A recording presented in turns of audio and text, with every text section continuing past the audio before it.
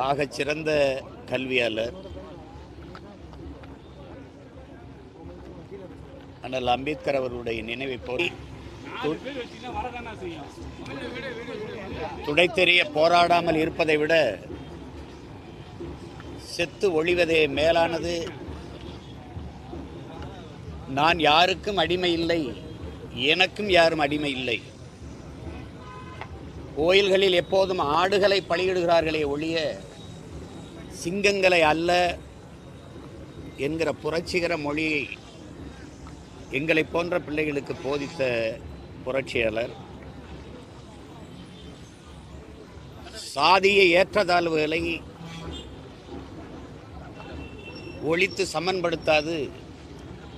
சமூக முன்னேற்றம் சமூக மேம்பாடு என்று பேசுவதெல்லாம் சாக்கடை குழியின் மேலே போடுகிற மல்லிகை பந்தலுக்கு ஒப்பானது என்று போதித்த பேராசான். அண்ணல் அம்பேத்கர் அவர்கள் இந்த நாட்டின் பெருமை வல்லபாய் பட்டேல் அல்ல இந்த நாட்டின் பெருமையே என்னால் காந்தியடிகளும் புரட்சியாளர் அண்ணல் அம்பேத்கரும் அவர்களும் தான். இந்த நாட்டின் எல்லையை தாண்டி புகழ்பெற்ற இரண்டு பெருமக்கள் உண்டென்றால் அது அண்ணல் காந்தியடிகள் அதற்கு பிறகு புரட்சியாளர் அண்ணல் அம்பேத்கர் அவர்கள்தான்.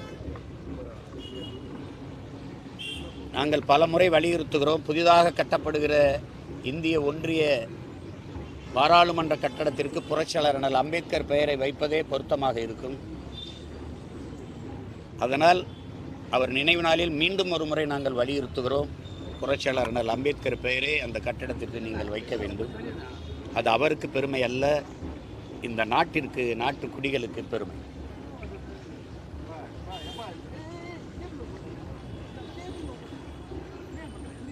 புரட்சியாளர் அண்ணல் அம்பேத்கரினுடைய நினைவை போற்றுகிற இந்நாளில் பிறப்பின் அடிப்படையில் பேதம் கற்பிக்கிற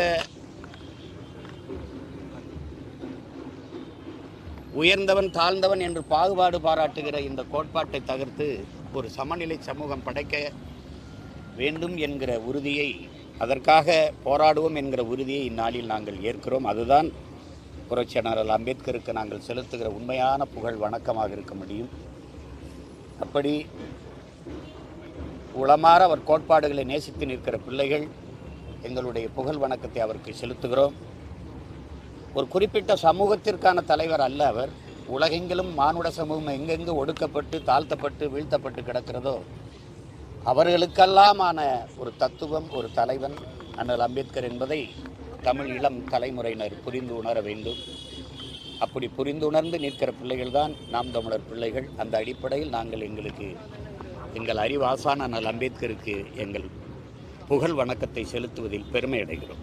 இப்ப சமீப காலமா ஆர்எஸ்எஸும் பிஜேபி அதிக அளவு அம்பேத்கரை கொண்டாடுறதுக்கு காரணம் என்ன? வாக்கு தான் வாக்கு மட்டுமே காரணம். வாக்கு தான் எந்த அளவுக்கும் போவாங்க அவங்க? புரியுதா? எந்த அளவுக்கும் போவாங்க? வேற என்ன காரணம் இருக்குது இவ்வளோ காலம் எல்லாம் இன்னைக்கு என்ன உங்களுக்கு அம்பேத்கர் கண்ணுக்கு தெரியுது? என்ன வல்லபாய் பட்டேலுக்கு எதுக்கு மூவாயிரம் கோடிக்கு செலவிச்சிங்க? நாட்டின் பெருமை காந்தியா அம்பேத்கரா வல்லபாய் பட்டேலா? இந்தியாவை தாண்டி எங்கேயாவது வல்லபாய் பட்டேல தெரியும்னு நீங்கள் சொல்லுங்கள் தம்பி. வாங்க போமா கேட்போமா போய். மலேசியா சிங்கப்பூர்ல போய் கேட்போமா ரொம்ப தூரம் போவேன் ஆஸ்திரேலியா அமெரிக்காலாம் போவேண்ணா. அப்புறம்?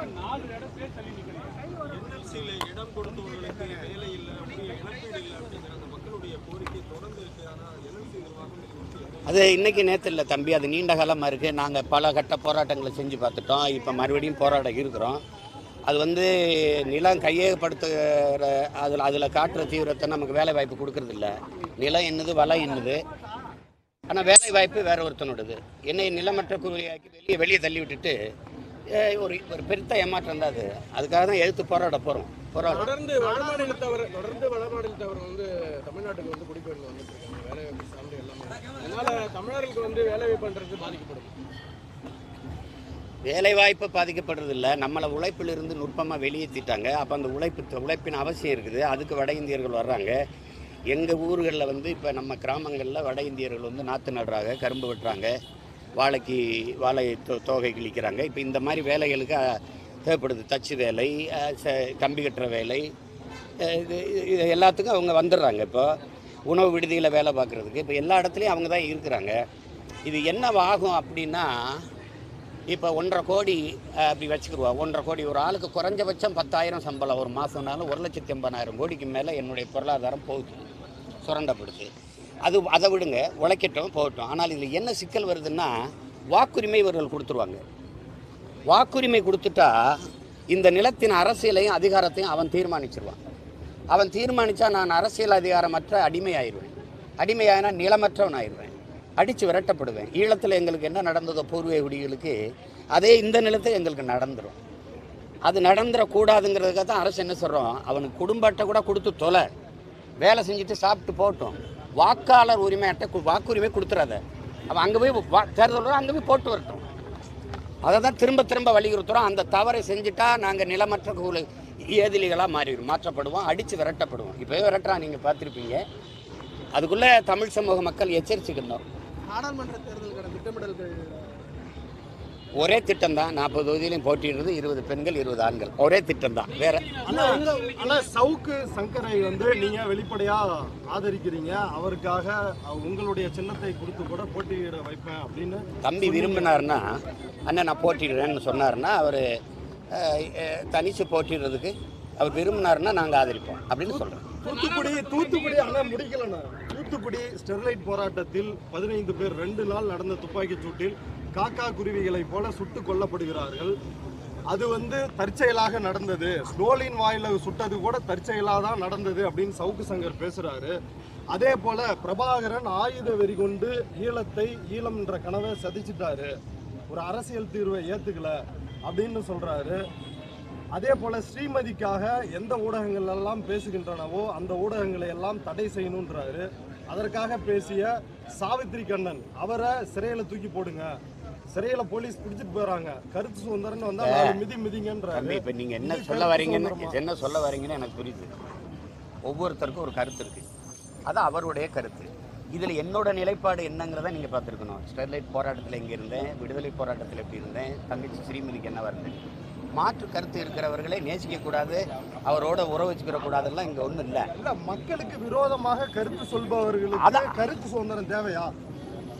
அப்படி அதுவும் தெ- அது அதுதானே ஜனநாயகம்? மாற்று கருத்தே ஒருத்தனுக்கு இருக்கக்கூடாதுன்னு எப்படி சொல்லுவீங்க? மக்களுக்கு மாற்று கருத்தே இருக்கக்கூடாதுன்னு எப்படி சொல்றீங்க எனக்கு சாமியை விட வாழ்ற பூமி முக்கியம். நான் பூமியை காப்பாற்ற போராடுறேன். நீங்க சாமியை காப்பாற்ற போராடுறீங்க. சுட்டது சரிதான் அப்படின்னு ஒருத்தர் சொன்னா நீங்க அதை ஏத்துக்குவீங்களா? அது தவறுன்னு நான் தர்க்கம் பண்ணுவேன்.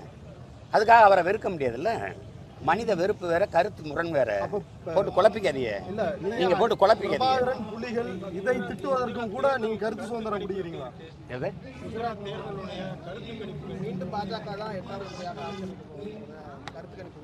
தேர்தலில் வாக்குப்பதிவு நடந்த காணொலியை உங்களுக்கு அனுப்பவா? எப்படி தேர்தல் நடந்ததுங்கிற காணொலியை உங்களுக்கு அனுப்பவா? அந்த வெற்றிக்கு நாண்டுக்கு நின்று சாகலாம் தூக்கில் தொங்கலாம். அது ஒரு வெற்றின்னு பேசுறதுக்கு விஷம் குடிச்சு சாகலாம் இல்லை தூக்கில் தொங்கலாம்? அது ஒரு வெற்றி. கேவலம். ஒருத்தன் நின்றுக்கிறான்னா அங்கேயே நிறுத்திட்டு வ- போ- போனா அவனையே அழுத்தி விடுறான். ஒரே ஆள் மொத்த ஓட்டையும் போட்டிருக்கான். இதில் வெற்றின்னு வேற சொல்றது உங்களுக்கு வெக்கமா இல்லையா? ஊடகத்தில் நாங்களே எட்டாவது முறை எண்பதாவது முறை விட ஜெயிச்சுட்டு போ. அது கேவலம். அவ்வளோதான் அது அவ்வளோதான் சொல்ல முடியும். ஆளுநர்களுக்கும் அரசுக்கும் இடையே ஆளுநர்களுக்கும் அரசுக்கும் இடையே தொடர்ந்து ஒரு மோதல் இருந்துகிட்டே இருக்கு. என்ன காரணம்? ஆளுநர் அவசியம் இல்லாமல் இருக்கிறனால இந்த அஞ்சு விரல் பக்கத்தில் இங்கே ஒரு விரல் இருந்ததுன்னா அது ஒரு எவ்வளோ தொந்தரவாக இருக்கும் அந்த விரல் தான் அது. அதை ஒடிச்சு போடணும் இல்லை வெட்டி எறியணும்? இப்போ வெட்டி எறியணும். அதுதான் இருக்க பிரச்சனை. இது அஞ்சு விரல் போதும்ல எனக்கு. இங்கிட்டு ஒரு விரல் தனியாக நின்றுக்கிட்டு இருக்கு. அதான் ஆளுநர். அதான் பிரச்சனை. அதனால தான் அந்த மோதல் போக்கு வருது. தேவையில்லாமல் மூக்க நுழைக்கிறது. சும்மா இருந்து. அறநூறு ஏக்கருக்கு மேலே நம்ம எவ்வளோ இட பற்றாக்குறையில் இருக்கோம் அவர் என்னத்துக்கு அந்த மாளிகை அது? அவ்வளோ பெரிய இடத்த கொடுத்து அதில் உட்காந்துக்கிட்டு சும்மா இதெல்லாம் இதெல்லாம் ஐயா கலைஞர் இருக்கும்போதோ அம்மா எ- ஜெயலலிதா அம்மையார் இருக்கும்போதோ எம்ஜிஆர் ஐயா இருக்கும்போதோ இந்த மாதிரிலாம் ஆளுநர்கள் வெளியில் இந்த விவாதம்லாம் வந்ததா? எங்கே ஆளுநர் இருக்காங்கன்னே தெரியாது. ஏதாவது விழாவில் வருவாங்க பட்டமளிப்பு விழா அது பதவியேற்பு விழா இல்லை ஆளுநர் உரைன்னு சட்டசபையில் நடக்கும்போது பேசிட்டு போவாங்க. ஒரு அழகா இருந்துட்டு போகிறது ஒரு அழகு சொல்லலாமா இல்லை ஒரு ஆரோக்கியமாக என்ன ஆரோக்கியம் இருக்குது அவருக்கு? மக்களால் தேர்வு செய்யப்பட்ட எட்டு கோடி மக்களால் தேர்வு செய்யப்பட்ட அரசு இருக்கிற முடிவுக்கு ஒத்துழைக்கிறது இல்லை. கையெழுத்து போடுங்கன்னா ஆன்லைன் ரம்மி விளையாட்டுக்கு ஏன் நீங்கள் கையெழுத்து போடல?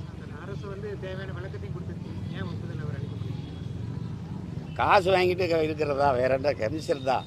எல்லாம் அவங்க ஆளுங்க தானே விளையாட்டை நடத்துகிறாங்க தமிழகத்துல பணம் வாங்கியிருக்காங்களா இல்லையா? மார்டின் ஐயா வெளிப்படையா ஐம்பது ஐம்பது கோடியா பிஜேபிக்கு போட்டிருக்காரா இல்லையா? நூறு கோடி கொடுத்துருக்காரா இல்லையா? சொல்லுங்க நீங்க சொல்லுங்க. அப்புறம் ஆனால் தமிழகத்தில் கருத்துரிமைக்கான பாதிப்பு அது தொடர்ச்சியாக இருக்குது. திமுகவுக்கு எதிராக யார் பேசினாலும் சிறையில் அடைக்கப்படுறாங்கன்னு குற்றச்சாட்டு வைக்கிற சவுக்கு சங்கர் ஒரு பரிந்துரையை உங்கள்கிட்ட வந்து சஜஷனாக வந்து சொல்கிறாரு இன்னொரு பேட்டிகளில் என்ன சொல்கிறாருன்னா பாஜக அதிமுக நாம் தமிழர். இந்த மூன்று கட்சிகளும் தேர்தலில் கூட்டணி இல்லைனாலும் கருத்துரிமை அப்படின்ற அடிப்படையில் ஒரு கூட்டணியை அமைத்து செயல்படணும். அப்படின்னு சொல்றாரு. நான் நான் வந்து கருத்துரிமைக்கு ஆதரவானவன். அதுக்காக ஒரு கூட்டணி அமைச்சுக்கிட்டு போராடணும்லாம் எனக்கு அவசியம் இல்லை. நான் தனித்து போராடுவேன். அது தம்பி சவுக்கு சங்கருக்கு மட்டும் இல்லை. என்னை விமர்சிக்கிற கிஷோர் கேசாமி கைதையும் நான் கண்டிச்சிருக்கேன் தம்பி மாரிதாஸ் கைதையும் நான் கண்டிச்சிருக்கேன். எனக்கு வாக்கு செலுத்தக்கூடாதுன்னு வீடு வீடுக்கு முட்டிக்கால் போட்டு ஜெபம் பண்ண சார்ஜ் பொன்னையா கைது இருக்குல்ல? அருள் தந்தை அவர் கைதையும் நான் கண்டிச்சிருக்கேன். இது என்னுடைய கடமைன்னு நான் நினைப்பேன். இது இது வந்து என் இனத்தின் மாண்பு. என் கட்சியின் கோட்பாடுலாம் கிடையாது இனத்தின் மாண்பு. அதனால அதனால தம்பி தம்பி தம்பி உனக்கு என்ன பிரச்சனை? எதை எதையுமே நீ நீ நீ உன்னை வச்சுக்கிட்டு அந்த கருத்தை என்னை பேச சொல்ல நினைக்கிற. அதெல்லாம் கிடையாது. ஸ்டான் லூர்துசாமி மரணத்தை நான் எதிர்த்திருக்கேன் கண்டிச்சிருக்கேன். அவரை நீங்கள் வந்து ஒரு தண்ணி குடிக்கிறதுக்கு ஒரு ஸ்ட்ரா கொடுக்கல. அவர் கை நடுக்க இருக்கும் அதுக்கு ரெண்டு மாதம் நீதிமன்றத்துக்கு போய் வழக்கு அவர் கொன்னே விட்டீங்கன்னு கூட நான் சண்டை போட்டிருக்கேன். அது வேற. ஆனா அதானே நீங்க அந்த மாதிரி வந்து ஜனநாயகத்துக்காக குரல் கொடுக்குறீங்க. ஆனா ச- யார் வந்து ஸ்டா கொடுக்காம சாகடிச்சாங்களோ அவங்களுக்கு கருத்து சுதந்திரம் வேணும் அப்படின்றீங்களே அதுதான் என்னோட. வால்டேர் சொன்னதுதான் தம்பி. உன் கருத்தில் நான் முரண்படுறேன். அதுக்கு உடன்பாடு இல்லை. ஆனால் அந்த கருத்தை நீ சுதந்திரமாக சொல்வதற்கான உரிமையை என் உயிரை கொடுத்தாது போராடி பெற்று தருவேங்கிறது. ஐயா பெரியாத்து உங்களுக்கு தான் சாமி இல்லையே நம்பிக்கை இல்லையே அப்புறம் ஏன் அந்த கோயிலுக்குள்ள இவங்க போகணும்னு போராடுறீங்கன்னு கடவுள் இல்லை சாமி இல்லைங்கிறது என்னோட உணர்வு. ஆனால் இவன் கோயிலுக்குள்ளே போய் கும்பிடணுங்கிறது இவன் உரிமை. இந்த உரிமையை போராடி பெற்றுக் கொடுக்க வேண்டியது ஒவ்வொரு மனிதனின் கடமை. அதை உங்கள் அண்ணன் செய்கிறேன் சரியா? நன்றி காசி நகர் புலவர் பேசு முறைதான் சொல்லி காசி தமிழ் சங்கமம் நடத்தாங்க காஞ்சியில் கேட்பதற்கு தெரிவு செய்யும் அதில் தமிழுங்க பேச பூரா சமஸ்கிருதம். ஓம் சிவோகம். அது சம தமிழா?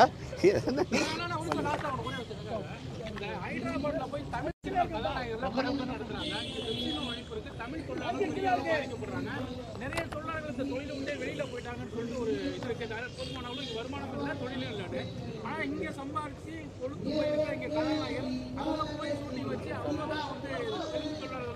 அதுக்கு காரணம் தம்பி இங்கே வந்து படப்பிடிப்பு நடத்துவதற்கான இடங்கள் அனுமதி தர்றதில்லை. நினைக்கிறேன். அங்கன்னா அவங்க விண்ணூர்தி நிலையத்தை இப்போ எதுக்கு சிலர்னா தாய்லாந்துக்கு போக வேண்டியதுன்னா அங்கே நிலையத்தில் எடுத்துக்கிறியா? தொடர் வண்டி எடுத்து எல்லாம் அனுமதிக்கிறாங்க. இங்கே நமக்கு இப்படி இல்லை. அதனால அங்கே போக அது இயற்கையாகவே பயன்படுத்த வேண்டிய அவசியம் வந்துருது. இல்லை.